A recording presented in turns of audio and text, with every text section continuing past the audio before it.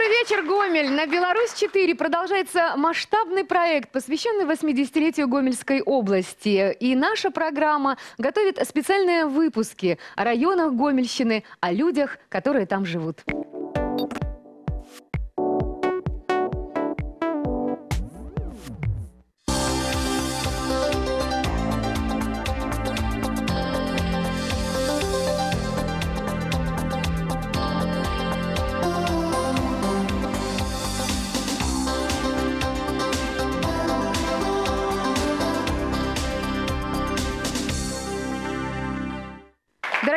Друзья, знаете ли вы, что цветок льна цветет всего несколько часов, а вот история этого растения насчитывает более 9 тысячелетий. Лен – это брендовая культура для Беларуси. Его цветы изображены на государственном гербе нашей страны. Кстати, считается, что лен – это золото полей, в том числе и кормянских. Именно здесь, на Кормянщине, много веков уже выращивают и перерабатывают эту культуру. Используют, кстати, лен в разных сферах своей жизни местные жители и даже придумали собственный фестиваль льна. Кстати, первый в истории Беларуси фестиваль льна прошел им в Корме 30 сентября прошлого года. Льняная карусель, так назвали праздник местные жители. Масштаб мероприятия удивил не только участников. Узнать э, о белорусском льне, об его истории, о возможностях приехали гости из самых разных стран. Участниками фестиваля стали более полторы тысячи человек. И вот как это было.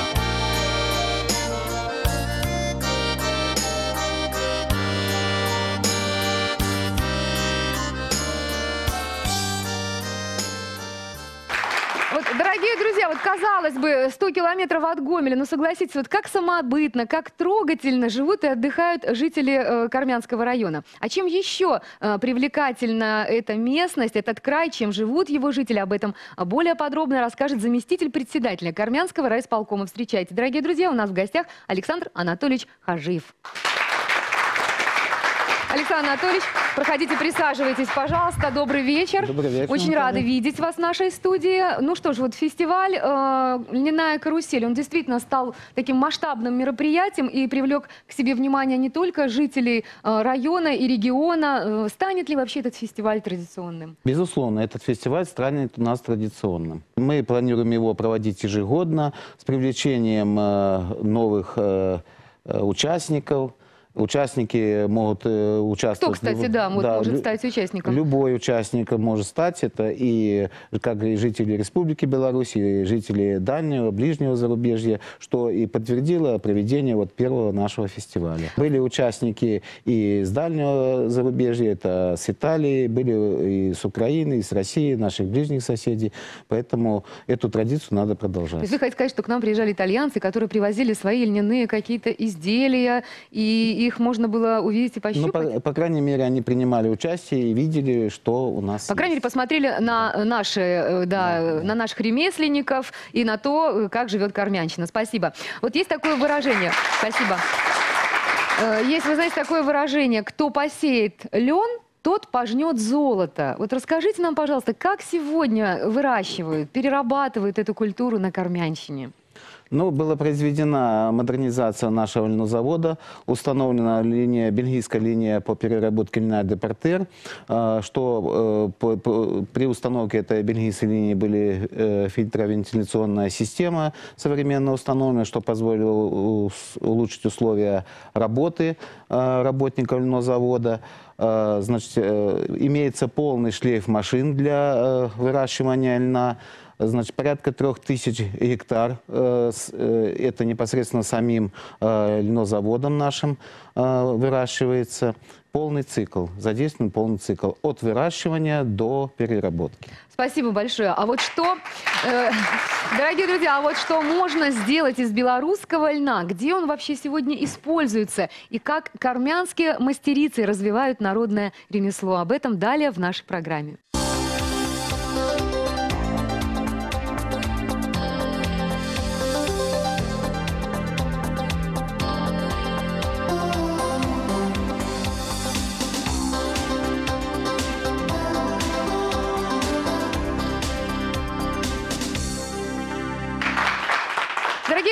Беларусь-4 продолжается масштабный проект, посвященный 80-летию Гомельской области. Вот в нашей программе мы рассказываем о районах, о людях, которые там живут. И сегодня это Кармянский район. Кстати, жители Кармянского района считают, что лен от всех болезней силен.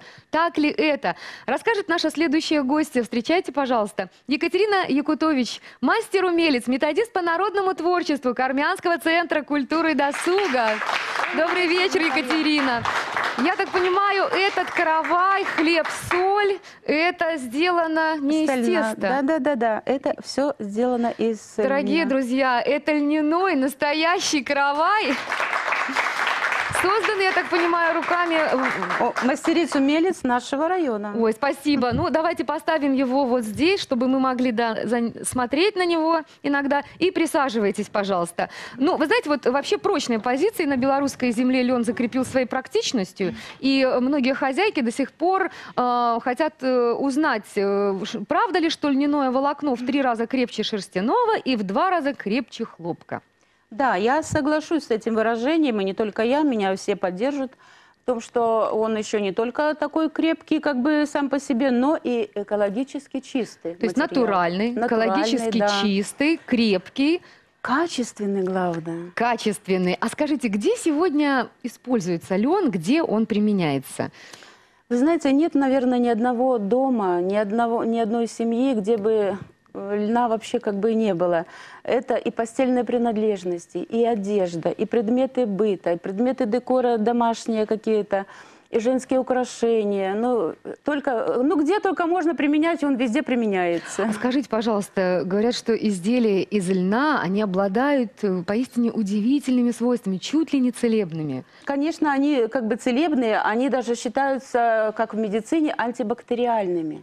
Ага, то есть все, что сегодня представлено здесь, в этой студии, Да, оно э, экологически само по себе, если приложить, делают даже вот компрессы делают, Так. они обязательно прикладывают льняную ткань, прежде чем что-то, э, компресс какой-то приложить. В хирургии э, нити вот эти, которые послеоперационные, да, тоже, они льняные нити, потому что они, ну, как бы считаются антибактериальными. Вообще особое повторюсь. место, э, такое почетное место в жизни белорусских крестьян всегда занимал еще и льняной рушник. Да-да-да. Известно, что, кстати, Кармянский районный музей собрал такую уникальную коллекцию старинных рушников. А вообще популярны ли сегодня изделия из льна в быту местных жителей? Расскажите. Вы знаете, я хочу сказать, что очень популярно и стремительно э, набирает эту популярность, так как действительно у нас, вот э, я еще раз могу даже повториться о том, что у нас на, в районе прошел первый фестиваль «Льняная карусель», и наши жители настолько увлеклись вот этим э, поделками из льна, что сейчас как бы... Готовятся ко второму фестивалю, да, да, ко и, второму наверное, фестивалю. Ждут на- гостей и ждут гостей и делают удивить. сувенирную продукцию, чтобы э, гости, которые приехали к нам на фестиваль, увезли частичку нашего добра, нашей теплоты с нашей кармянской земли. Ну, расскажите тогда и нашим зрителям, что же можно изготовить э, из льна, из льна э, самостоятельно? И покажите, пожалуйста, похвастайтесь тем, что есть сегодня в нашей студии. Э, самостоятельно можно приготовить все. Работала бы только фантазия. Вот. э, Предметы женского украшения. Бижутерия. Бижутерия, подобная да. можно. Так. Вот такие можно... э, Я так понимаю, сейчас все кармянские женщины Да, э, ходят все кармянские ходят женщины у вот в таких нас. вот бусах. Да. Прекрасно. Вот Может такие поиск- пояса можно. Вот смотрите, какая-то красота. На моем, наверное, не будет. Хотя, может, и... Ой, очень даже не подходит, по-моему. Очень. Поддержите нас. Ну вот. Кстати, с таким поясом Италия есть, уже хорошо. Конечно, не есть. завязывайте, не завязывайте, а то придется так и передачу ж вести. Ну, очень красиво. Так, Очень. пояс, так, хорошо, дальше. Можно делать также браслеты, Мгм. вот как видите.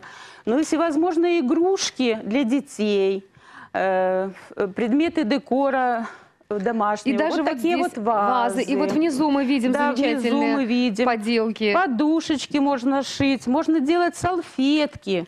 Очень красивые. Мы видим, да, видно, видны салфеточки. вот такие Спасибо. салфеточки. Но я знаю, что вы сегодня э, покажете э, такой, скажем, мастер-класс, Да. научите нас э, самостоятельно дома э, делать какие-то украшения изо льна. Да. Что это будет? Расскажите, Сегодня пожалуйста. мы попробуем с вами делать бусы. То есть приблизительно вот такие бузы, только еще краше, сегодня на добром вечере э, делает э, умелица из Кармянского района Екатерина. Да. Для этого, для этого мы возьмем ну, несколько нитей, примерно около 20 штук, э, метра по полтора. Мгм. Вот. Находим серединочку. Вот они будут по длине где-то как раз женщине вот так подходить. Значит, связываем здесь ма- маленькой ниточкой, чтобы они нам не мешали. И начинаем нанизывать бусинки. Вот такие бусинки. А как? Покажите. Для начала давайте свяжем. Для начала сейчас мы вам покажем. И на каждую отдельную да, ниточку вот они одеваются бусинки. в произвольном таком каком-то Да, в порядке. произвольном Мгм. порядке. И будем делать такие вот бусы. Ну что ж, мы будем смотреть, как вы это делаете. Да, я надеюсь, что получатся бусы необычные. Шикарные. Шикарные. Ну что ж, дорогие друзья, вообще, на самом деле, э, сегодня и даже мировые дизайнеры все чаще используют в своих коллекциях вот такие натуральные материалы, как лен, например. Э, Кстати, в Кармянском районе есть даже своя коллекция одежды из льна. Вот как она создавалась и кто автор подобного творчества, расскажет наша следующая гостья. Я хочу пригласить в студию Ирину Головневу, учителя русского языка и литературы средней школы номер один городского поселка Карма. Встречайте, пожалуйста. Ирина, добрый вечер. Здравствуйте, А, Наталья. Присаживайтесь, мы очень Спасибо. рады видеть вас в нашей студии. Я так понимаю, что костюм, в котором вы пожаловали на нашу программу, это дело рук армянских мастериц. Здорово, Наталья, что вы заметили, ведь добавление эластана в льняную ткань э, делает возможным осуществление самых смелых фантазий в плане фактуры. Да, ну что ж, давайте тогда так. проявите еще один смелый поступок, покружитесь, покажите нам эту красоту. Спасибо большое, Спасибо. присаживайтесь. Ну, а теперь, а теперь хотелось бы по порядку. В нашей студии сегодня представлены ну, изумительные костюмы из льна. Вот расскажите, кто автор этих костюмов и в чем вообще их уникальность? Можно я начну издалека? Пожалуйста. В то время как космические корабли бороздят просторы. Вселенной, а дизайнеры с мировыми именами а, пытаются возродить традиции и творят свои новые коллекции в стиле эко, в Кармянском районе на Кармянщине прошел фестиваль «Льняная карусель», главным гвоздем программы которого явилось льняное дефиле. И Экземпляры, а, те, которые были представлены одежды, немногочисленные, правда, вы видите сегодня в студии. На самом деле авторство принадлежит учителям, педагогам трудового обучения и детям а, в, рамках конкурса, который был объявлен в учреждениях образования. Э, Фантазия детей и педагогов ничем не ограничилась. Единственным условием было использование натуральных льняных тканей, что и было осуществлено. Надо попросить у вас как-нибудь на программу э, пару костюмчиков. С огромным Очень э, интересно. удовольствием мы это все предоставим. Хотелось бы сказать, что человек воспринимает окружающий мир через призму собственных представлений о нем, и поэтому наша коллекция настолько многообразная, яркая и уникальная. Ведь откровенно романтические мотивы, да, ведь именно для романтизма характерно обращение к фольклору и этносу, перемежаются с современными э, моделями. Вот, То есть, например, вот, например, вот современная да, модель из льна. Можно Здесь, я да, вот так здесь придвину? налицо асимметрия. Так это же мой, мой, мой фасончик, посмотрите. Прекрасно, так. А, Асимметрия, например, или воротники стойки, которые сейчас настолько модны, что используются много где, даже в моем наряде. А, Детские вещи. А, кстати, тоже. давайте покажем. Очень интересное детское платье. Я Это сразу обратила на это творений. внимание. Вам нравится? Можно вообще заметить, знаете, какие-то нетрадиционные и традиционные стили, и такие сочетания какие-то очень интересные. Вот здесь, например, в этом платье. Вот Да, расскажите об этой модели. здесь набивная ткань, Так. которая имитирует вышивку. А вышивка и орнаментальные узоры – это как раз-таки отражение самосознания национального, и которое сейчас активно прививается и детям, даже в детских садиках есть патриотическое воспитание. И поэтому э, вот такая модель будет очень интересно смотреться не только на народных праздниках, а даже э, оценивается родителями в детском саду на утренниках. Ну, вы знаете, что если наши дети будут вот в таких красивых платьях ходить в детский сад, да, э, мне кажется, ну, мальчишки наши от девчонок не будут И отходить. стоит отметить, что э, вышивка и орнаментальная Очень символика, красиво. которая здесь представлена даже в этом платье, она же а, не только является элементом декора украшения, а также и оберегом своеобразным. Ведь геометрические фигуры, вот, например, ромб, это символ солнца, или обращение к растительному миру, это единение с природой. А дети как раз э, и являются самым, э, скажем, таким э, важным примером э, слияния с миром природы. И еще хотелось бы заметить Так, пожалуйста. платье-футляр который э, э, пользуется этот фасон нынче огромной популярностью, у, особенно у офисных работников, которые э, любят э, такие вещи одевать в плане э, практичности, незаменим. Хотя здесь, конечно, он дополнен народными элементами, но здесь это как идея того, как это можно обыграть, какими аксессуарами, кстати. Я вам скажу по секрету, что каждая женщина мечтает в своем гардеробе иметь э, платье, костюм из льна, потому что это что? Свободно, это очень легко, все, все дышит, что называется. Летом, мне кажется, это вообще незаменимый просто Во-первых, материал. да, льняная ткань это практично. Из натуральных тканей это наиболее износоустойчивый э, материал. И, ко всему прочему, обладает целебными свойствами. Издревле считалось и до сих пор Антибактериальными мы уже антибактериальными выяснили. и целебными даже считалось, если у вас плохое настроение, вы оденете льняное платье, оно непременно у вас улучшится. Так это же прекрасный секрет. Вот спасибо большое. А скажите, сколько костюмов сегодня насчитывает вот ваша кармянская коллекция? А, Я не ошибусь, если скажу, что около э, 200 костюмов Ничего есть. да. себе! И сейчас даже идет э, э, процесс создания аксессуаров из льна. Мы обещали, мы делаем. Действительно, это так. Так. Шляпки и заколочки в виде маленьких шляпок э, и цилиндров. Сама видела, очень красиво. Я уверена, что в одной из наших следующих программ вы это покажете, и мне кажется, это будет пользоваться Непременно. большой популярностью. Я почему-то уже даже вижу, как наши женщины, да, ходят в таких соломенных э, аксессуарах, льняных аксессуарах. Скажите, а насколько вообще учащиеся, вот, которые были да, авторами, вот некоторые из них были авторами этих, э, этих изделий, насколько они прониклись этим проектом? Я стараюсь популяризировать ту мысль, что искусство – это единственный способ оставить свой след на земле. Дети это понимают, и дети стремятся самовыражаться именно через искусство. А это самое настоящее искусство. И особенно учащимся нравится а, вывязывать э, крючком, девочки учатся на трудах, а, именно вот эти а, декоративные элементы в платьях. Фактура их не так еще беспокоит, а вот все эти элементы, они даже бросают и в плане а, успеваемости по русской литературе, по русскому языку даже немножко успеваемость упала, потому что дети заняты именно процессом сотворения. Не, ну успеваемость не надо, чтобы падала. Но скажите, пожалуйста, Ирина, а вообще показывать э, планируете свою льняную коллекцию на каких-то выставках? моды? Мы безумно будем рады, рассмотрим все предложения и с удовольствием поучаствуем, если нас пригласят. Ну что ж, белорусская мода трепещи называется, да. Есть у нас вот такие вот кармянские мастера. Вы знаете, вижу здесь еще одну интересную модель, и мне кажется, это как бы не из этой коллекции, а из какой-то древней. Нет? Наталья, вот Расскажите. глаз алмаз на самом деле раритетная вещь. Давайте покажем, что это такое и расскажем.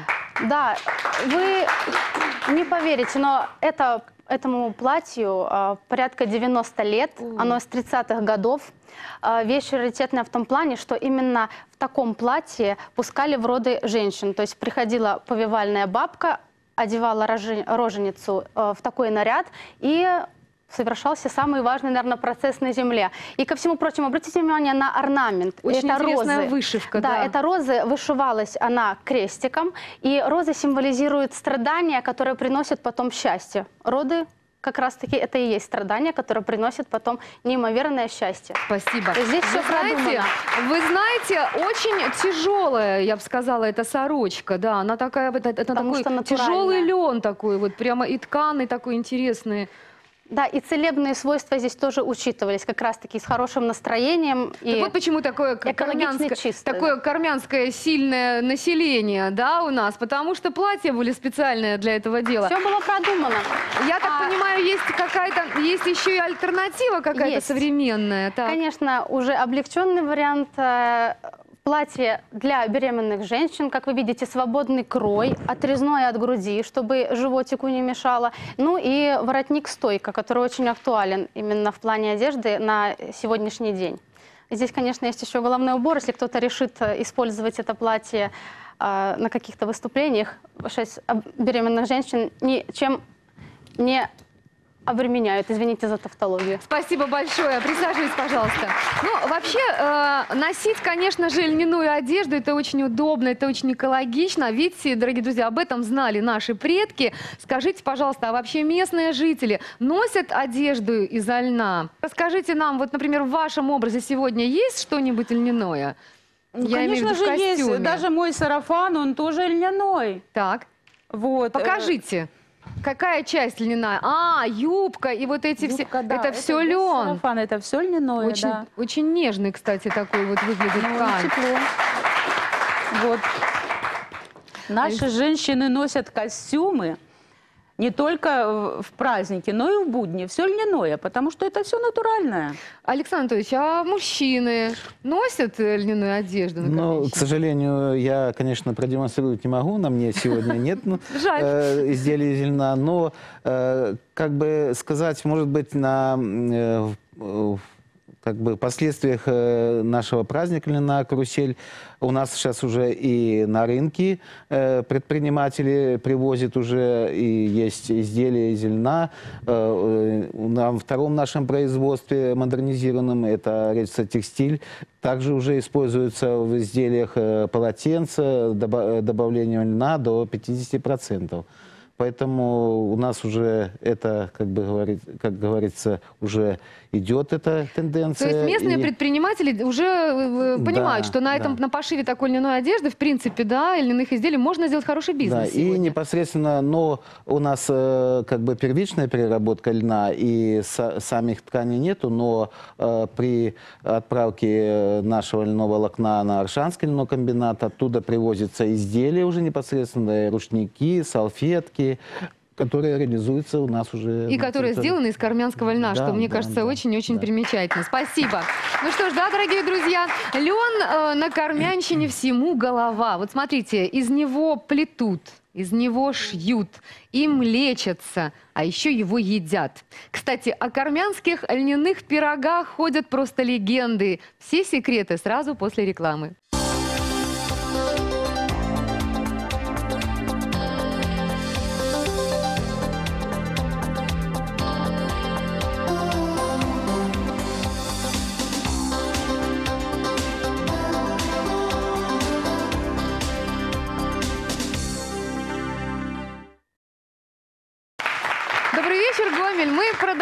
Рассказ о Кармянском районе. Вот скажите, вы ели когда-нибудь пироги из льняной муки? Так вот, на Кармянщине это блюдо очень популярно. Местные хозяюшки особо чтят старинные рецепты, поэтому приготовьтесь, дорогие друзья, записывать.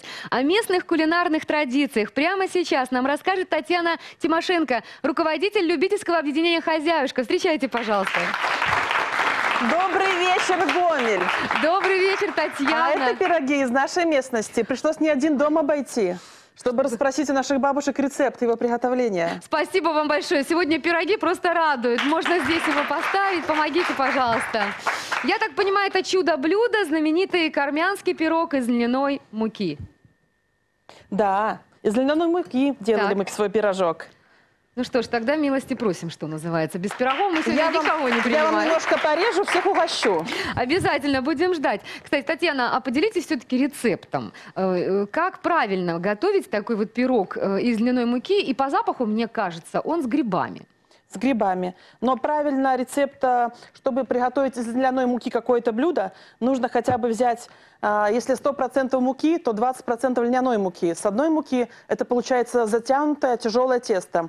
Оно у вас не поднимется Так. с одной муки. А с этого теста получается, здесь идет у нас стакан муки и 20 процентов идет только льняной муки на этот рецепт. Понятно. Понимаете, как да, понятно. Мне кажется, все ясно. И дальше делаются обычные, Обычный рецепт интересные теста. рецепты. Да. Еще льняная мука может заменить, не ложить в, реце- в тесто яйца, она может заменить здесь же яйца. То есть она Столовая клейкость ложка. какую-то Да, столовая дает. ложечка заменяет два яйца.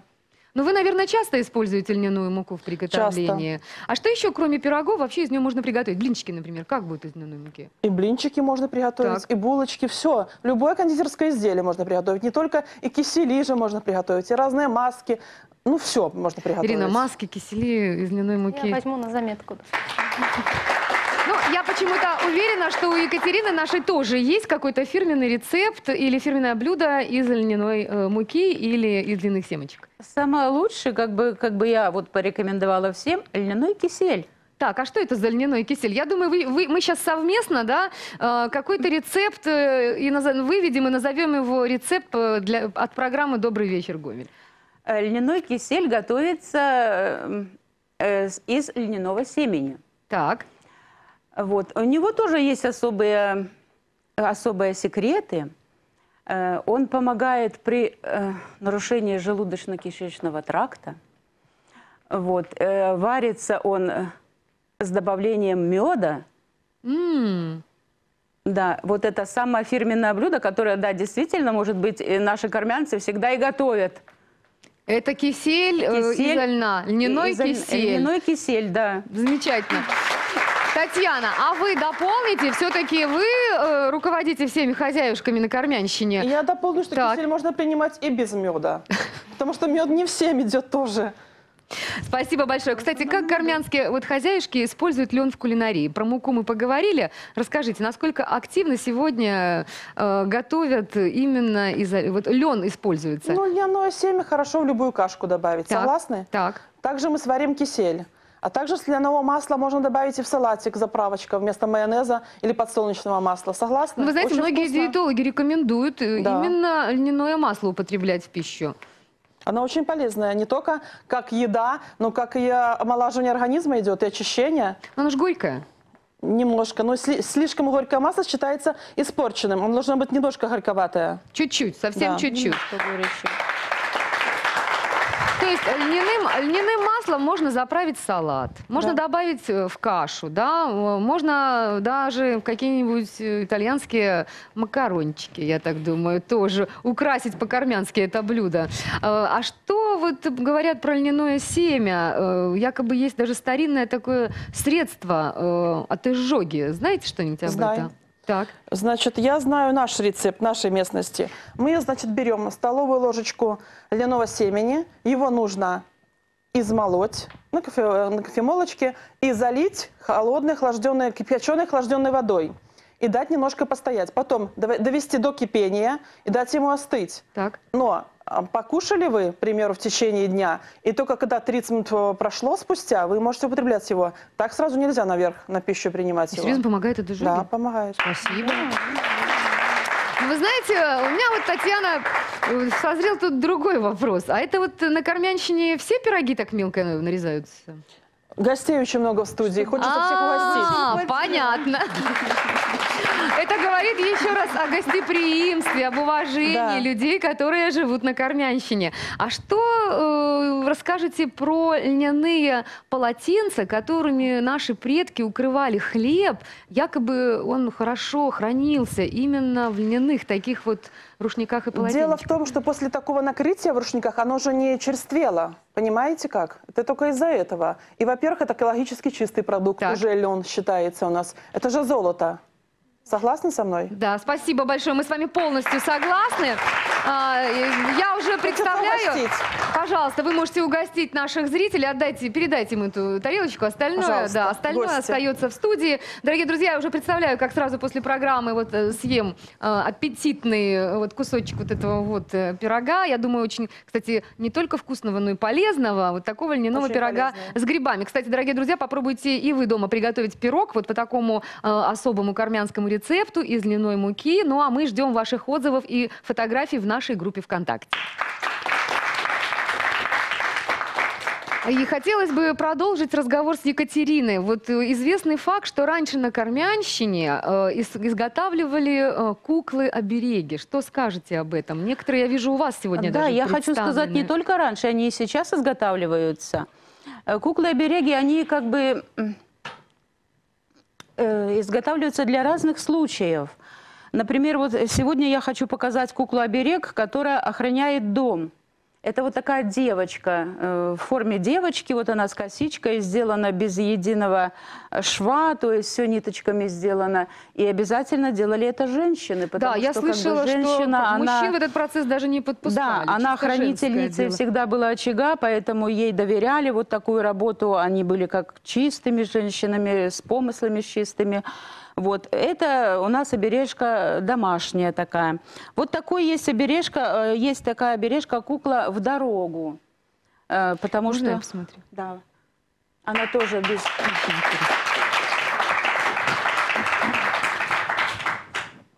Так, Ну, учитывая еще и современные тенденции, как бы сейчас э, тоже очень много э, делают обережка. Вот такой вот современный обережка у нас. покажите, пожалуйста.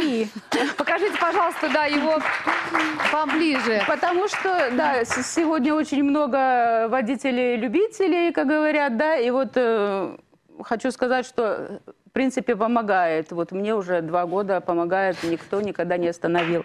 То есть вы хотите сказать о том, что на сегодняшний день э, обереги, Да. э, вот, скажем, такое, э, такое понятие, такое явление, такое ремесло до сих пор популярно на Кормянщине? Да, очень популярно. Еще хочу сказать, особенно остановиться вот на этой вот кукле это, это что-то- обережке. это что-то бесподобное. Это наша э, кукла-обережка, оберег полей, наших полей. Э, как раньше было в Белоруссии, в принципе, оберегами считалась полевица, это женского рода обережка была, и житник. Житник это был мужского рода обережник.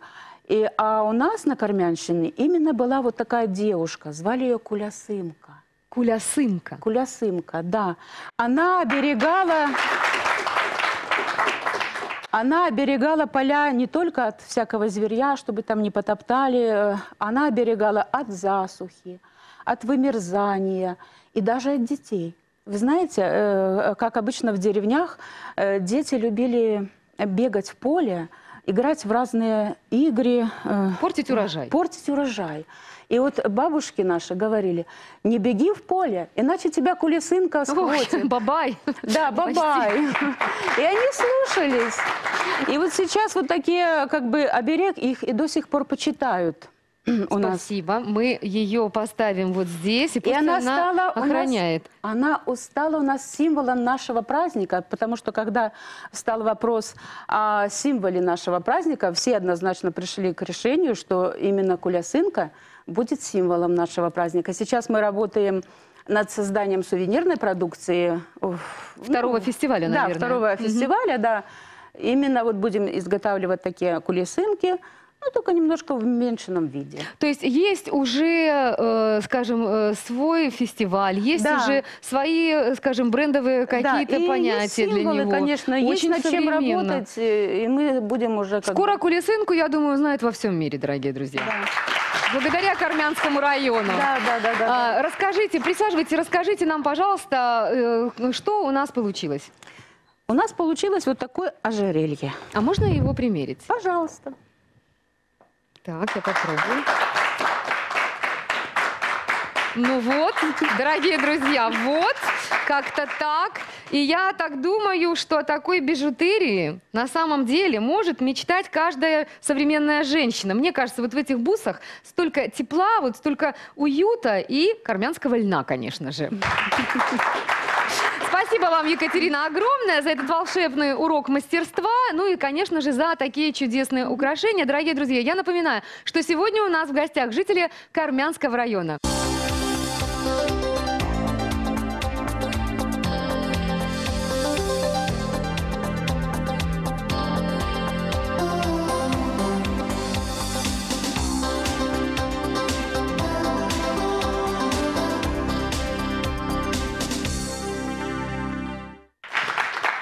Дорогие друзья, на Беларусь-4 продолжается масштабный проект, посвященный юбилею нашей Гомельской области. И сегодня наша программа рассказывает о Кармянском районе. Площадь района небольшая, это 940 квадратных километров. Но зато какие леса в Кармянском районе, какие озера, какие люди здесь живут. Гостеприимные, талантливые и очень добрые. На территории Кармянского района проживает, кстати, чуть более 13 тысяч человек, и половина – это жители Кармы. Кстати, долгие годы считалось, что самое раннее письменное историческое упоминание об этом поселении относится к 17 веку. И лишь недавно историки состарили корму почти на 100 лет. Кстати, в этом году местные жители будут отмечать уже 453 года со дня рождения своего городского поселка. Вот э, э, хотелось бы продолжить наш разговор э, о том, как живут э, на Кармянщине. Э, Александр Анатольевич, расскажите, пожалуйста, какой же он современный Кармянский район? Чем живут его жители? Все благосостояния своей жизни они создают своими руками. То есть трудятся на производстве, в сельском хозяйстве, в промышленности, Э, много предпринимателей э, значит, занимаются торговлей. Поэтому все в наших руках. И все э, современная кормянщина, она живет современными реалиями. Значит, культурно-досуговые мероприятия проводятся, образование современное в наших школах, медицина также современная. Поэтому все, все у нас хорошо, все замечательно. Ой, ну прекрасно, когда так реагируют. Ну, а скажите, пожалуйста, на чем сегодня специализируется вот агропромышленный комплекс Кормянщины? Что еще, кроме льна, производят э, местные аграрии? Значит, агропромышленный комплекс нашей Кормянщины, он еще предоставлен производством мясомолочной продукции, а, значит, это мясо, молоко, растениеводство. А, для этого постоянно проводится модернизация э, сельскохозяйственного производства. За последние годы были построены пять э, доильно-молочных блоков, э, сараи к этим современные. Поэтому сейчас вот разговариваю даже с людьми пожилого возраста, которые ран, раньше занимались вот на фермах, доили, кормили. Они очень удивлены и говорят, конечно, э, на, на сегодняшний день, если бы эти условия, то... Да в то время, да, да на да, их в то вот время, эту хватку, да, да, на хватку, то очень было бы замечательно. Да, точно в коммунизм построили, о чем вы говорите? Александр Анатольевич, скажите, пожалуйста, а как вообще вот развивается социальная сфера вот в городах, селах Кармянского района? И что вообще стоит за этим понятием сегодня у вас?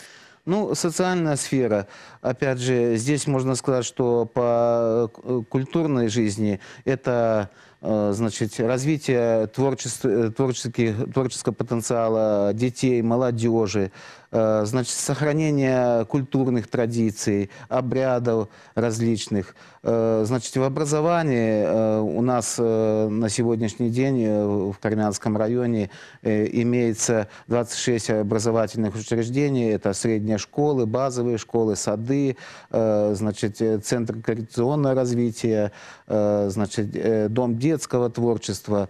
Поэтому э, у детей кормянщины есть возможность развить свой потенциал и достигнуть определенных успехов э, в учебе, э, что подтверждается и результатами поступления наших детей в высшие учебные, средние специальные учебные заведения. По медицинскому направлению постоянно идет укрепление материально-технической базы учреждений медицины что позволяет э, проводить достойную профилактику заболеваний, а, ну и, соответственно, условия работы непосредственно самих работников. Современное оборудование, которое позволяет э, определять заболевания на ранних стадиях, социально-экономическом э, развитии района, как я уже отмечал, помимо того, что э, в агропромышленном комплексе идет модернизация производства, вот непосредственно наш вопрос, который звучал по льну, значит, модернизация льнозавода, Прошла у нас модернизация и филиала Речица Текстиль в Корме. Значит, очень много за последние годы порядка 12 тысяч квадратных метров построено жилья для различных категорий. Это Э, жилье основ- в основном в городском поселке Карма. Э, Не только в А городском еще? поселке Корма, это и в сельской местности для э, тружеников сельского хозяйства в агрогородках. Э, Значит, э, жилье э, построено социальной направленности. Это для многодетных семей, для детей-сирот. Вот сейчас непосредственно у нас в этом году уже начинается строительство э, 40-квартирного дома для детей-сирот. То есть э, э, социальная направленность в районе, она у нас на высоком уровне находится. Спасибо большое. Вы знаете, хотелось бы отметить еще и э, спортивные достижения жителей Кармянщины. Э, скажите, вот как вообще ведется вот эта физкультурно-оздоровительная работа в вашем районе? Ну, у нас имеется детская юношеская спортивная школа. Э, Значит, вот э, э, есть э, банно-оздоровительный комплекс. Э, Последнее время он находился в аварийном состоянии, но сейчас проведены ремонтные работы, и собираемся вводить его в эксплуатацию. Есть у нас и спортивные тренажеры. Поэтому в этом направлении тоже ведется определенная работа, и наши жители Кармянщины не обделены в этом направлении. А вы знаете, сегодня в нашей студии присутствует директор Кармянской э, детско-юношеской спортивной школы Сергей Семенович Уткин. Добрый вечер, Сергей Семенович. Добрый вечер. И расскажите нам, пожалуйста, какими же спортивными достижениями гордится сегодня Кармянский район? Ну, хотелось бы сказать изначально, что в 2017 году нам исполнилось в нашей школе со дня основания 50 лет. Мы поздравляем вас.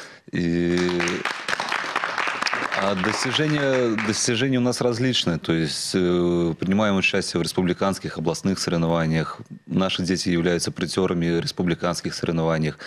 Также наша волейбольная команда отстаивала честь области на республиканской спартакиаде «Колосок» среди сельской местности и заняли третье место там.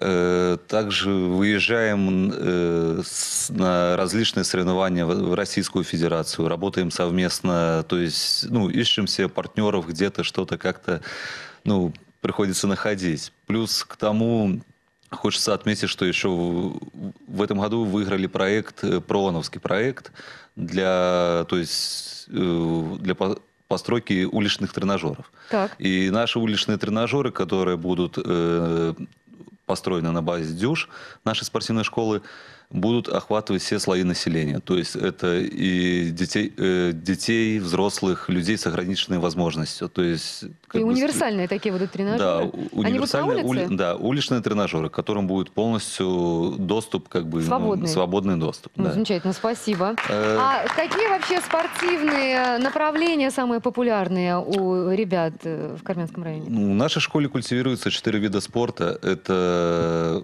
волейбол, баскетбол, э, борьба вольная и легкая атлетика. То есть, ну, в основном самые проносящие медали это у нас волейбол, вольная борьба. А также есть результаты и в баскетболе, и в легкой атлетике. То есть, ну, как бы на месте не стоим, работаем. Есть какой-нибудь секрет у ваших спортсменов? Например, там льняной кисель или льняные пироги, чтобы быть сильными и быстрыми и ловкими? Ну, свои секреты мы не выдаем. Спасибо.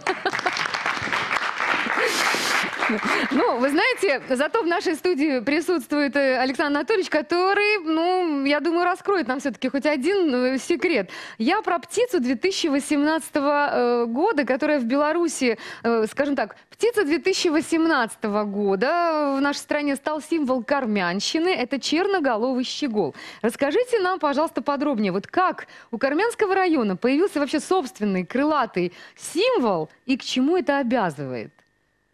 А, Ну, вы знаете, вот э, при подготовке к мероприятиям по льняной карусели, э, значит, как-то э, нашим э, общественникам, кто этим непосредственно занимался, э, попалось то, что вот при выращивании льна есть какие-то определенные э, виды, которые могут там обитать, э, значит, э, кормиться, как говорится, этими семенами.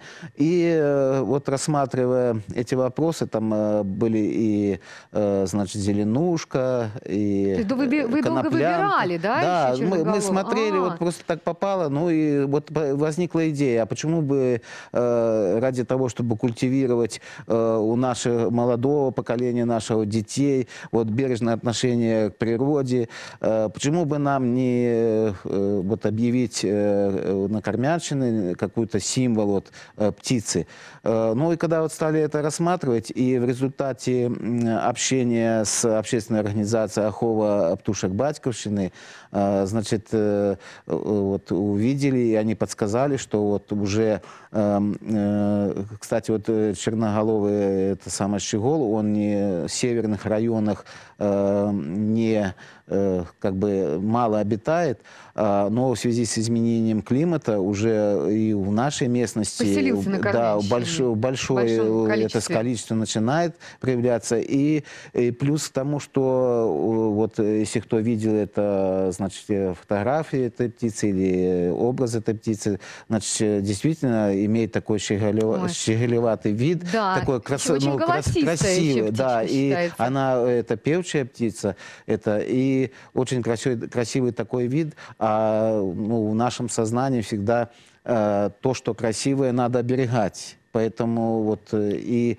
э, возникла такая идея вот э, символом э, это самая птица вот э, Символом Кормянщины да, черноголовый щегол. И э, и уже э, в на- нашем молодом поколении будет конечно это самое. Помимо того что не только красиво надо берегать а даже та птичка которая незаметная это неприметная и уже в сознании будет что не только надо красоту но и все надо берегать Ну что ж, спасибо большое. Кормянский район. Вот видите, дорогие друзья, это такая уникальная земля, вот с таким, э, с богатой историей, с героическим, кстати, прошлым и все-таки яркой самобытностью, где хранится очень много тайн и загадок. В самом деле, вот почему это место носит такое, а не какое-либо другое название? И вообще судьба каких, например, известных людей связана с этим краем? Так вот, ответы на эти вопросы знают местные энтузиасты, не побоюсь этого слова, которые бережно собирают и хранят историю Кормянщины. Я хочу пригласить в эту студию учителя белорусского языка и литературы гимназии городского поселка Корма Светлану Васильевну Чкалову. Встречайте, пожалуйста. Добрый вечер. Проходите. И э, директора Кормянского мемориального музея имени Лепешинского Аллу Сергеевну Балыш. Встречайте, пожалуйста. Добрый вечер, Алла Сергеевна. Присаживайтесь. Ну вот э, первый вопрос для всех. Вот если бы какой-то такой вот мимолетный турист э, встретился вам, да, и задал вопрос, один вопрос, чем привеча- примечателен ваш район? Вот каким бы был ответ? Вот интересно ваше мнение. Ну, у нашай мясцовасці шмат э, такіх мест, дзе можна адпачыць і нешта паглядзець. І, Ну, а, в первую очередь, куда бы отправили? ну, у першую чаргу, ну, карыстаючыся выпадкам, мабыць, я б адправіла ў мера- ну, музей. мемарыяльны музей э, імені Пантелеймона Миколаевича Лепяшинского, раз тут присутнічае дырэктар гэтага музея. а если бы, ее Таму не што прис- гэта- если бы она здесь не присутствовала, то куда? Ну, тады, б, мабыць, запрасіла да сябе О, у гімназію. Там у нас вот таксама как, ёсць замечательно. музей. Невялікі, але ёсць.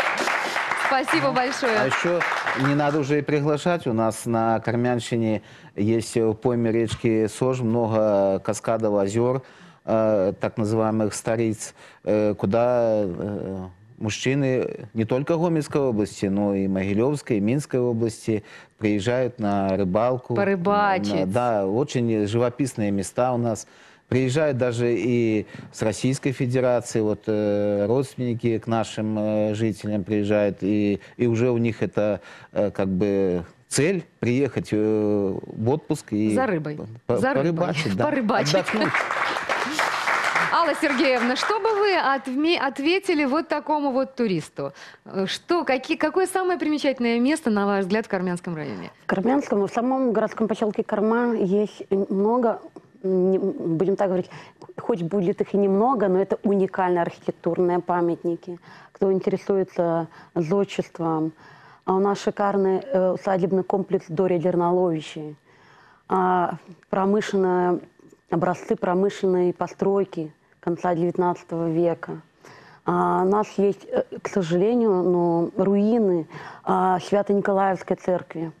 Но, как вы знаете, и мы реставрируем, не реставрируем не потому, что э, не хватает средств, а потому что приняли решение, Колизей же тоже не реставрируют, да, хотя у итальянцев, наверное, много средств, больше, чем у нас. Мы оставили это как память для потомков и ее консервировали и сохраняем. Спасибо вам большое. Э, Ну, э, я предлагаю поговорить, давайте по порядку, да? Вот, Светлана Васильевна, вы являетесь одним из участников такого уникального проекта местного Кармянского по созданию топонимического словаря Кармянского района. Давайте сразу объясним нашим зрителям, что такое топонимика. Не Ну, все знают, поверьте. У мяне у папяровым варыянце вось ёсць гэты слоўнік і э, тапаніміка гэта назвы населеных пунктаў гэта назвы водных аб'ектаў а таксама аб'ек- аб'ектаў э, рэльефных э, якія знаходзяцца на То есть зямной географические паверхні. названия Да. какой-то местности, да. Да. и их обозначения. Да. Хорошо, расскажите нам в двух словах вот про это издание и откуда вообще появилась такая идея, идея сделать, ну, собрать, создать собственный топонимический э, словарь в районе. Ну, перш-наперш трэба адзначыць, што установы адукацыі нашага раёна выкарыстоўваюць краязнаўчы матэрыял. І па гэтаму у, ву- у настаўнікаў творчай групы філолага гі- гісторыка-філалагічнага цыкла ўзнікла такая ідэя стварыць слоўнік топанімічны, да, краязнаўчы. І мы склалі план, размеркавалі тэрыторыю, і потым вось э, сюды ўвайшло больш 500 слоў у Сколько? гэтай- больш 500 названий э, Пять- рек, больше. озер, деревень, да? Калі быць дакладнай, то 516 слоў. Сюды Ничего ўвайшло. себе! Ну тогда э, главный вопрос. Так в чем же особенность географических названий и их происхождения на Кармянщине? Вот вы можете уже как-то проанализировать и сделать Ну вось, какой-то напрыклад, у нашым раёне ёсць вёска Бярозаўка. Яна паходзіць ад слова бяроза.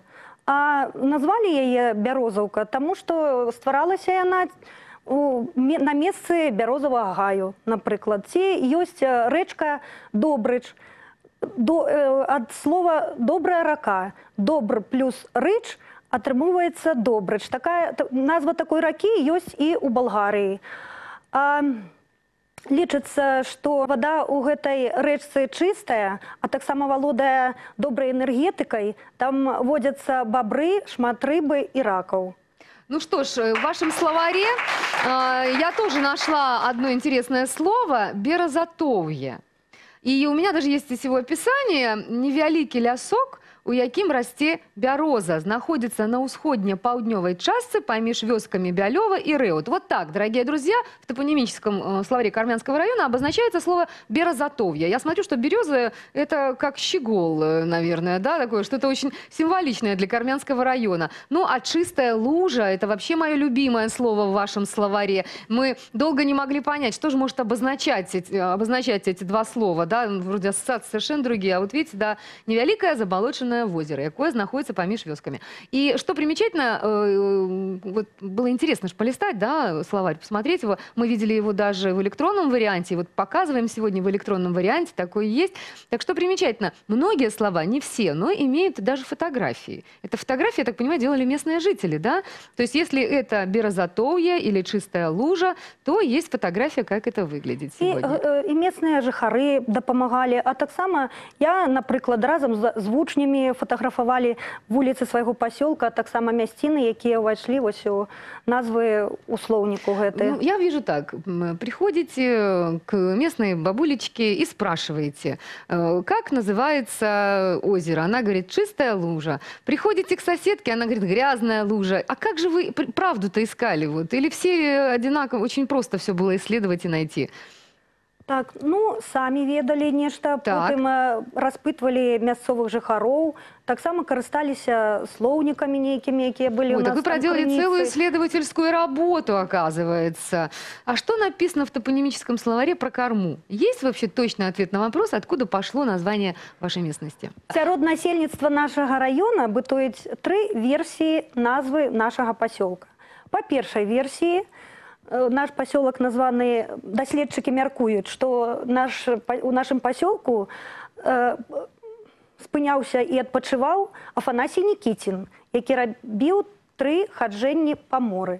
По другой версіі лічацца, што э, гэта назва пайшла ад караблебудавання, Таму што ў вёсцы струмень кармянскага раёна зна- было, было балота, і у якім знайшлі э, рэшткі славянскай ладдзі. І трэцяя версія гаворыць аб тым, што э, мяркуюць, што гэта было месца прыпынку ўсіх падарожнікаў, якія спыняліся, адпачывалі, а таксама кармілі сваіх коней. Ад слова корм. Вось От слова тры корм, где, да, место, где кормили, Где кормились, где коней. спынялись. А вам какая версия вот больше нравится? Ну, мне апошняя версія, а таксама другая версія, таму што чамусьці вось здаецца мне у нас і сімвал ёсць гэтага карабель пастаўлены ў карме, поэтому здаецца на другую больш мы Ось там, где ад кораблебудования. Сегодня в нашей студии есть один редкий экспонат из вашего музея. И э, пора уже о нем рассказать и даже, может быть, его включить. А, Это единственное, э, это редкий экспонат, но это единственное, который мы смогли привести, потому что все остальные достаточно объемные, громоздкие, но при этом они тоже не до- должны заслужить свое Итак, внимание. это патефон, дорогие а это друзья. Я вам показу- хочу показать нашу, нашего любимого старичка, это граммофон. Граммофон А, Он даже, с 1910 года. А, Он был приобретен политическими мигрантами в Швейцарии и был на память оставлен Пантелеймону Николаевичу Лепешинскому. О, Я вам покажу его, он немного даже работает. Он работает, дорогие друзья, представляете?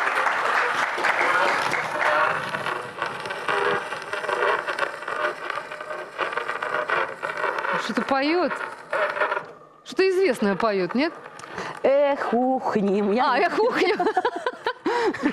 Он работает, удивительно.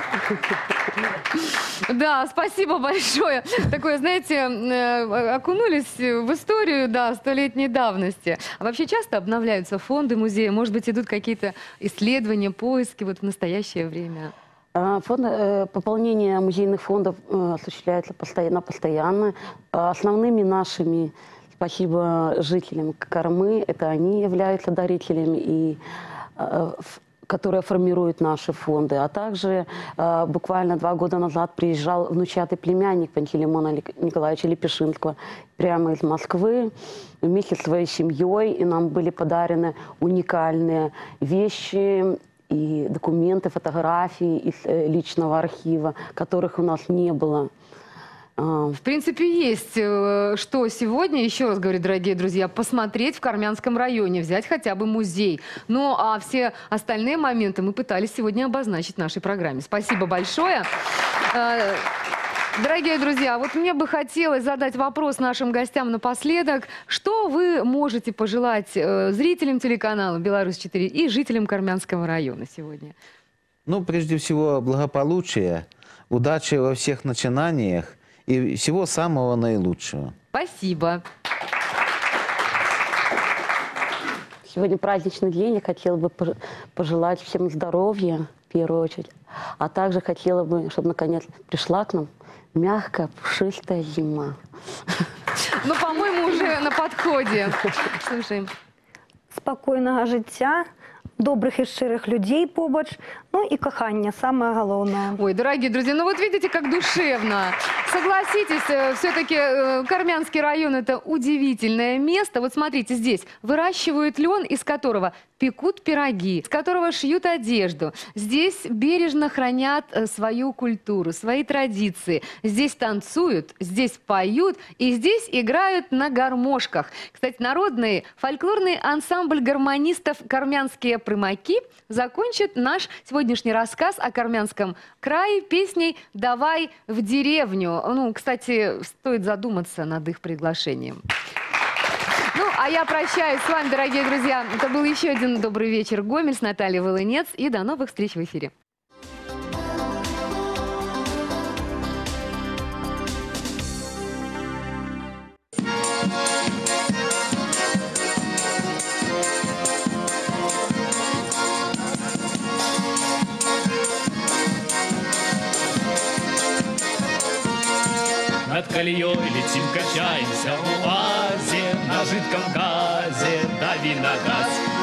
Сегодня в клубе дискотеку обещали. И сон здоровый, он не для нас. Кипит страдаем и горбатимся до ночи. И если честно, уже нет мощи Но мы комбайнами поля свои прострочим Что было ровно, но не на показ. Чего вам город? Там все невнятно. Давай в деревню, тут все понятно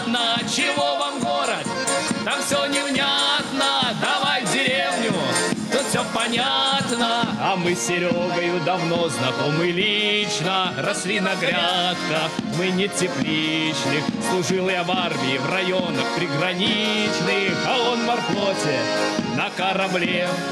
В колхозе нашем все красиво и прилично. И председатель мужик отличный Хотя бывает иногда категоричный. Но он ведь первый парень на селе Чего вам город? Там все невнятно Давай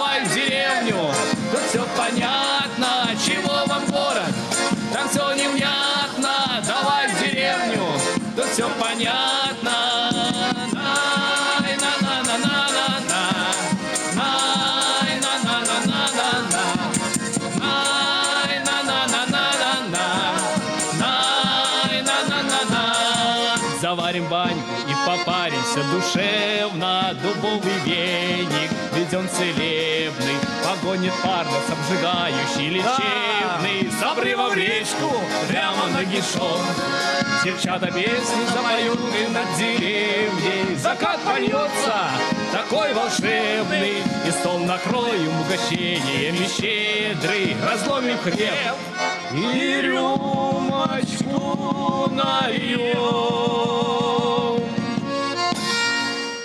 чего